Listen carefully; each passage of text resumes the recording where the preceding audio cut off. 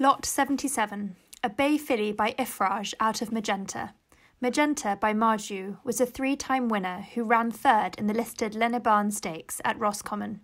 She herself is an own sister to Mufar, second in the Group 2 Godolphin Mile, as well as being a half sister to French listed winner Partner Shift.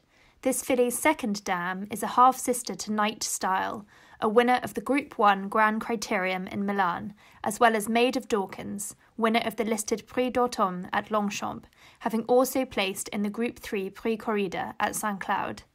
Lot 77, a bay filly by Iffraaj out of Magenta, consigned by Mockler's Hill.